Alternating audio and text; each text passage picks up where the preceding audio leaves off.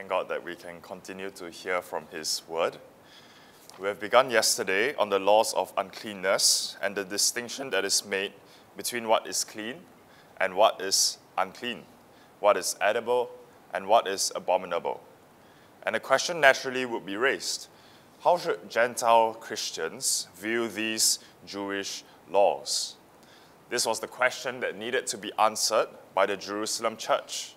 For in the book of Acts, there were Jews who thought that it is necessary for Gentile Christians to conform to Jewish laws. And therefore, Paul and Barnabas had to be sent by the church in Antioch to clarify this truth. This is appropriate for us to consider so that we may read these ceremonial laws as Gentiles and understand what we ought to learn from it. So we shall be taking a slight detour and we'll be going to the book of Acts. We'll go to the book of Acts first and Acts chapter 15. Acts chapter 15 and verses 1 to 35.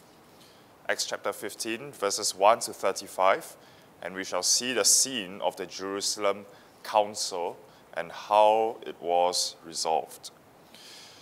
Acts chapter 15, verse 1. And certain men which came down from Judea taught the brethren and said, Except ye be circumcised after the manner of Moses, ye cannot be saved. When therefore Paul and Barnabas had no small dissension and disputation with them, they determined that Paul and Barnabas and certain other of them should go up to Jerusalem and unto the apostles and elders about this question. And being brought on their way by the church, they passed through Phoenice and Samaria, declaring the conversion of the Gentiles. And they caused great joy unto all the brethren. And when they were come to Jerusalem, they were received of the church and of the apostles and elders, and they declared all things that God had done with them. But there rose up certain of the sect of the Pharisees which believed, saying that it was needful to circumcise them and to command them to keep the law of Moses. And the apostles and elders came together for to consider of this matter. And when there had been much disputing, Peter rose up and said unto them, Men and brethren, ye know how that a good while ago God made choice among us that the Gentiles by my mouth should hear the word of the gospel and believe. And God, which knoweth the hearts, bear them witness, giving them the Holy Ghost, even as he did unto us and put no difference between us and them, purifying their hearts by faith. Now, therefore, why tempt ye God to put a yoke upon the neck of the disciples, which neither our fathers nor we were able to bear? But we believe that through the grace of the Lord Jesus Christ, we shall be saved, even as they. Then all the multitude kept silence and gave audience to Barnabas and Paul declaring what miracles and wonders God had wrought among the Gentiles by them. And after they had held their peace, James answered, saying, Men and brethren, hearken unto me. Simeon have declared how God at the first did visit the Gentiles, to take out of them a people for his name. And to this agree the words of the prophets, as it is written, After this I will return, and will build again the tabernacle of David which is fallen down, and I will build again the ruins thereof, and I will set it up, that the residue of men might seek after the Lord, and all the Gentiles upon whom my name is called, saith the Lord, who doeth all these things. Known unto God are all his works from the beginning of the world. Wherefore my sentence is that we trouble them not, trouble not them, which from among the Gentiles are turned to God but that we write unto them that they abstain from pollutions of idols, and from fornication, and from things strangled, and from blood. For Moses of old time hath in every city them that preach him, being read in the synagogues every Sabbath day. Then please it the apostles and elders with the whole church to send chosen men of their own company to Antioch with Paul and Barnabas, namely Judas, surnamed Barsabas, and Silas, chief men among the brethren, and they wrote letters by them after this manner The apostles and elders and brethren send greeting unto the brethren which are of the Gentiles in Antioch and Syria and Cilicia.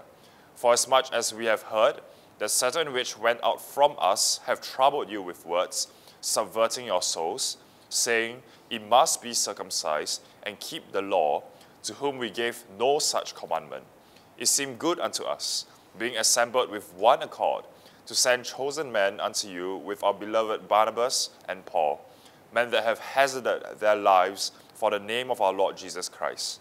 We have sent therefore Judas and Silas, who shall also tell you the same things by mouth. For it seemeth good to the Holy Ghost and to us to lay upon you no greater burden than these necessary things that ye abstain from meats offered to idols, and from blood, and from things strangled, and from fornication, from which if ye keep yourselves, ye shall do well. Fare ye well. So when they were dismissed, they came to Antioch, and when they had gathered the multitude together, they delivered the epistle, which when they had read, they rejoiced for the consolation. And Judas and Silas, being prophets also themselves, exhorted the brethren with many words, and confirmed them. And after they had tarried there a space, they were let go in peace from the brethren unto the apostles. Notwithstanding, it pleased Silas to abide there still. Paul also and Barnabas continued in Antioch, teaching and preaching the word of the Lord with many others also. How wonderful this is! We as Gentile Christians are free from the performance of the ceremonial law, but have been given four necessary things to do to abstain from meat offered to idols, from blood, from things strangled, and from fornication. And this is what the apostles and elders in Jerusalem decided that the Gentiles should do. Let us therefore follow it and learn to rejoice as the church of Antioch did upon receiving this epistle. But how should we use this liberty that we have been given by the Lord? Let us learn that we have been given this liberty in order to love our brethren.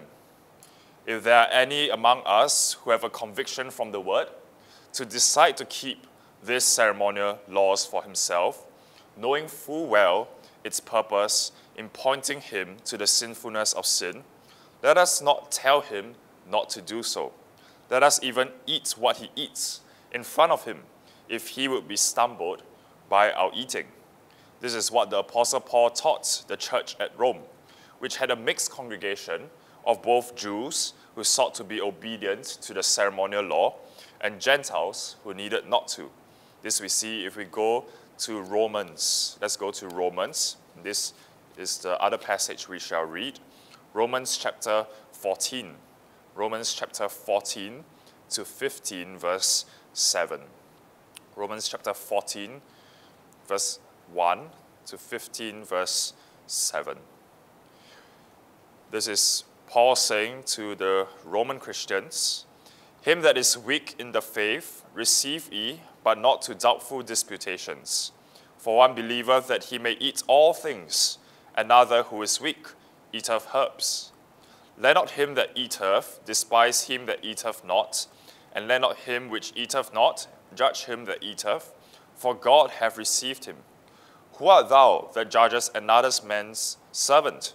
To his own master he standeth or falleth. Yea, he shall be holden up, for God is able to make him stand. One man esteemeth one day above another, another esteemeth every day alike.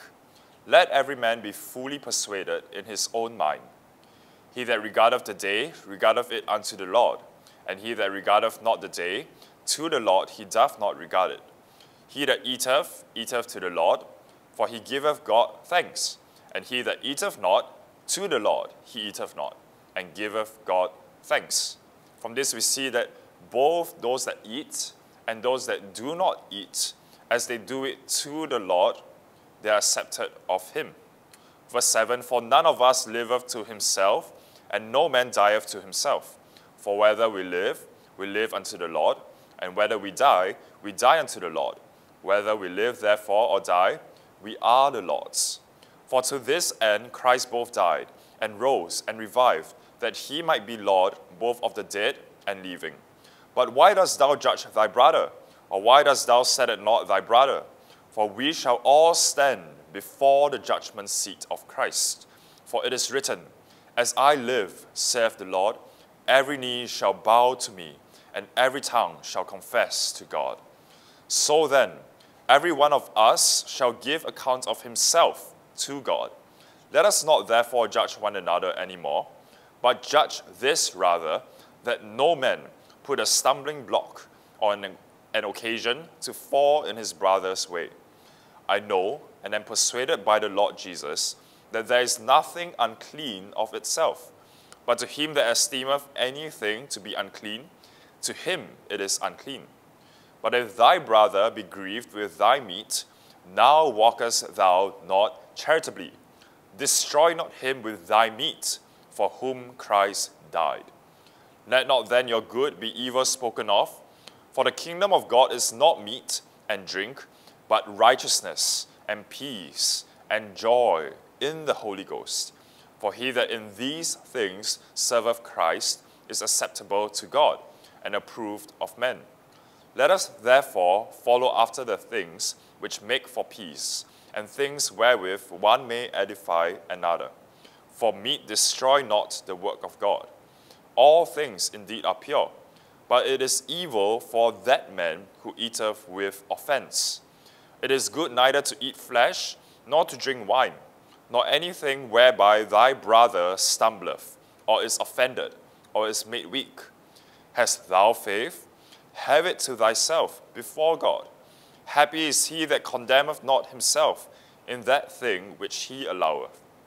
And he that doubteth is damned if he eat, because he eateth not of faith. For whatsoever is not of faith is sin. We then that are strong ought to bear the infirmities of the weak, and not to please ourselves. Let every one of us please his neighbor for his good, to edification. For even Christ pleased not himself, but as it is written, the reproaches on them that reproach thee fell on me. For whatsoever things were written aforetime were written for our learning, that we, through patience and comfort of the Scriptures, might have hope. Now the God of patience and consolation grants you to be like minded one toward another, according to Christ Jesus that ye may with one mind and one mouth glorify God, even the Father of our Lord Jesus Christ. Wherefore, receive ye one another, as Christ also received us to the glory of God. This is what we are supposed to do. We are to edify one another. We are to be of one mouth and one mind, serving the Lord together. Let us learn to do so. Let us learn not to harm the conscience of our brethren. We have been freed from bondage not to take advantage of others, but for us to willingly love our brethren as Christ has loved them. Therefore, let us do as Paul says as we examine this book of Leviticus. Remember this clearly from chapter 15 and verse 5. Whatsoever things were written aforetime were written for our learning, that we through patience and comfort of the scriptures might have hope.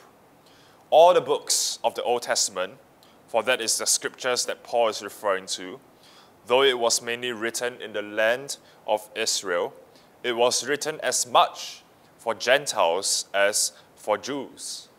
And this means that the book of Leviticus, though we are at liberty not to keep the ceremonial laws that are in it, yet God has inspired and preserved it for us that we may draw out its lessons, that we may obtain patience and comfort as we journey through this life, expecting with great hope of the glorious future that is to come.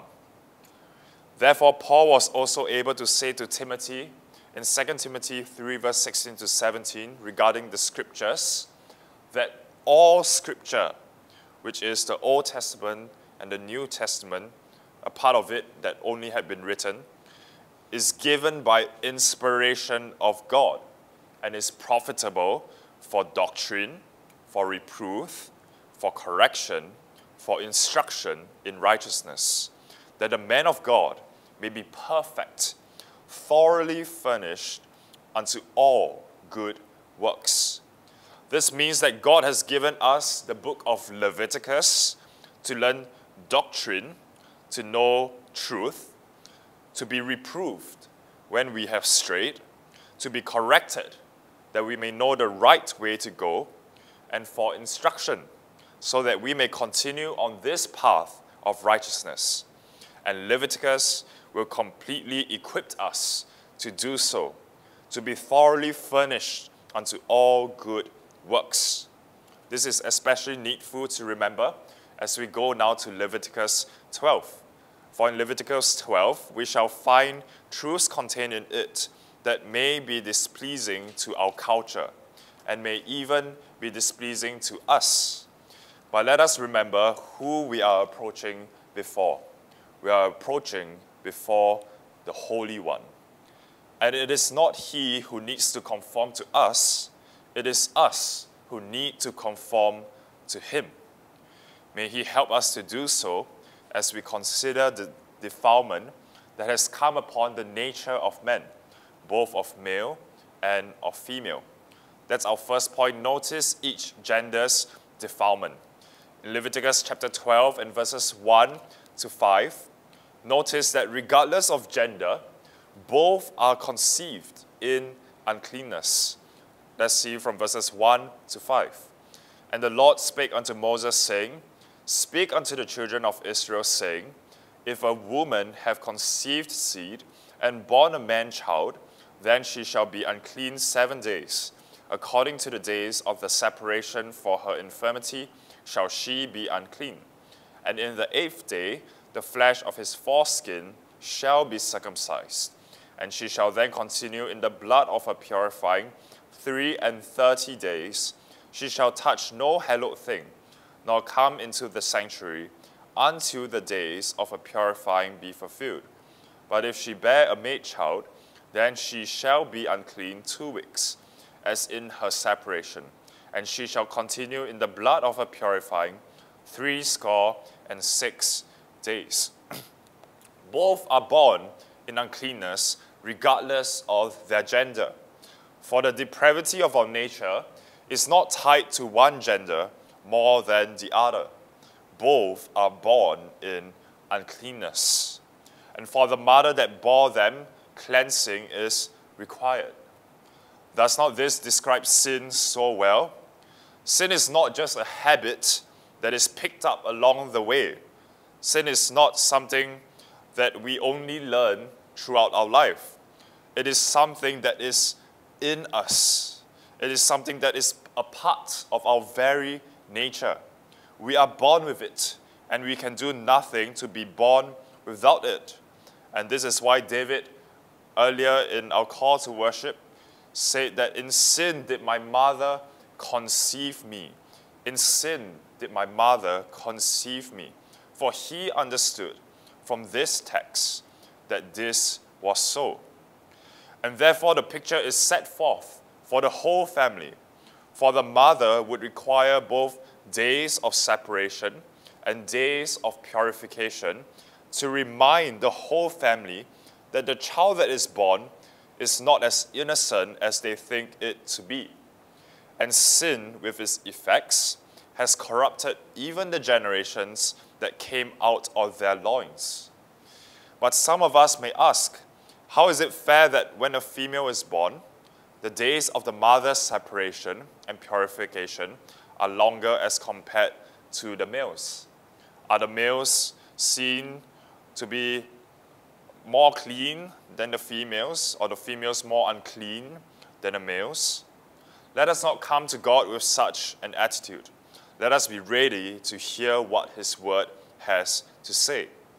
Let us note first that the distinction between the male and the female is found in terms of their function. In verse 2, the male is called a man child, and in verse 5, the female is called a maid child.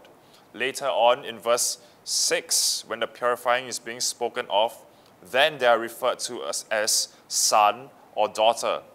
And at the end, later in the end of verse 7, it says a male or female.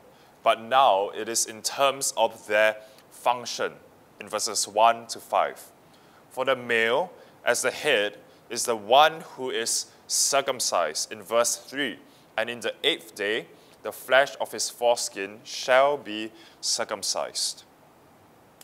And the handmaid is the one who supports the head, for she is the one who bears the next generation, who continues in their uncleanness.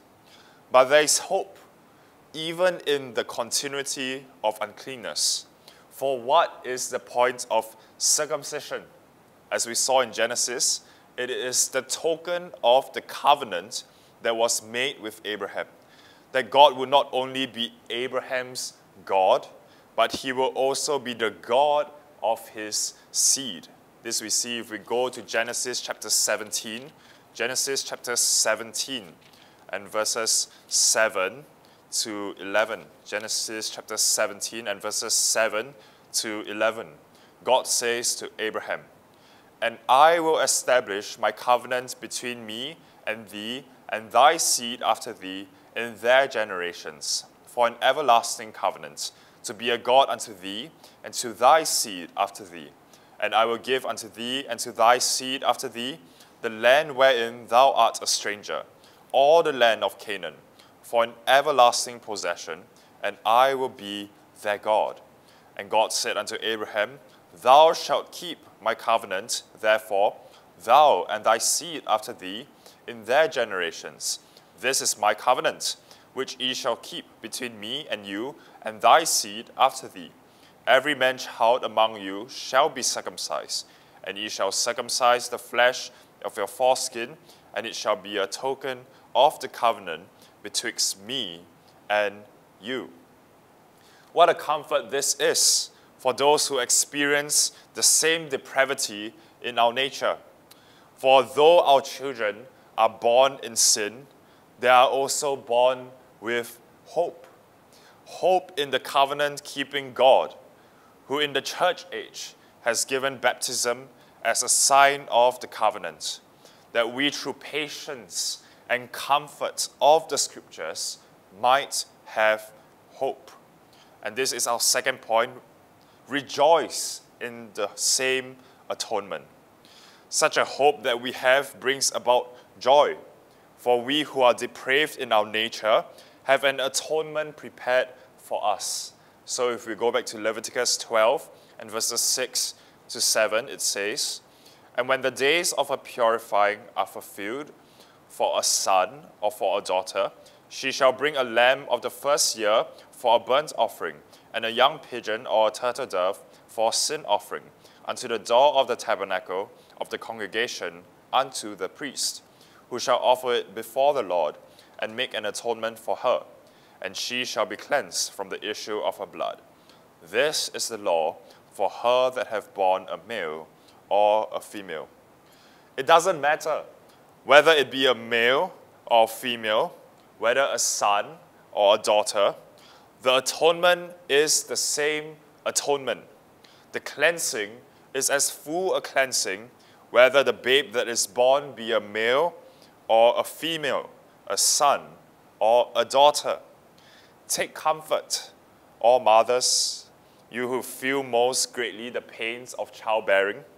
Know this, that the effects of the curse can be atoned for through the blood of Jesus Christ.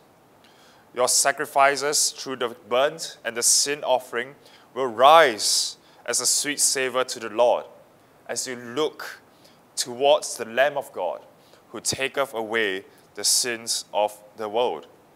And therefore, the covenant children of God are baptized in hope hope of the goodness of God and his covenant with his people. And our third point, appreciate its equity. The atonement is not only for those who can afford to bring a lamb and a young pigeon, for look at the provision that is provided in verse 8. And if she be not able to bring a lamb, Then she shall bring two turtles or two young pigeons, the one for burnt offering, and the other for sin offering. And the priest shall make an atonement for her, and she shall be clean. Even if you don't have money to bring a lamb, you can bring two turtle doves or two pigeons, for the atonement of the Lord is available for all. And the cleansing is as complete whether a lamb is sacrificed or a pigeon is sacrificed. Thus it is with our Lord Jesus Christ. It is not whether we are male or female, it's not whether we are rich or poor. It only matters that we acknowledge that we are unclean, that we have no help in ourselves, but must come to the heavenly tabernacle with the precious blood of our Lord and Savior Jesus Christ and there we may find forgiveness freely given to us, and we may freely receive of it. Let us therefore be emboldened by this truth. Shall we be afraid to reach out to any man or woman? Shall we be afraid because they are somebody big, somebody great, or are they too little for us that we despise them? No, let us not have such an attitude. Let us tell all men that they are born in sin. Let us all tell women, all women, that they are born in sin. Let us tell them that there is an atonement that is available for their uncleanness. Let us tell them about our Lord Jesus, who we who have tasted and known of his cleansing power that has freed us from the bondage of sin. Let us be freed so that we may serve. Let us do so today to proclaim the gospel to all the peoples of the world. Let us pray.